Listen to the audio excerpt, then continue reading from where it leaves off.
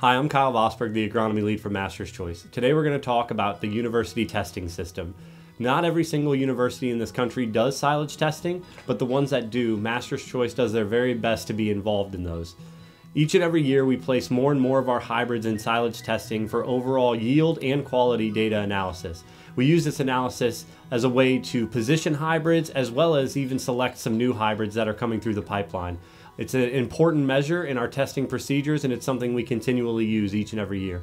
One of the universities we've done particularly well at is the South Dakota State Variety Trial. This year, Master's Choice had three hybrids in the top five place, including taking first and second in overall yield.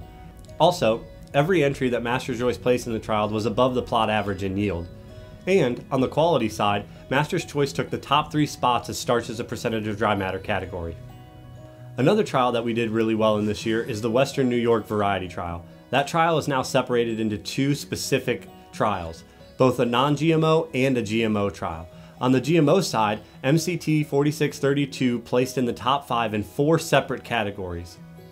On the non-GMO side, MC 5790 also finished in the top five in four separate categories. At Master's Choice, these variety trials play an important role not only in product validation for our customers and dealers, but also on a research and development side in product placement and overall product development.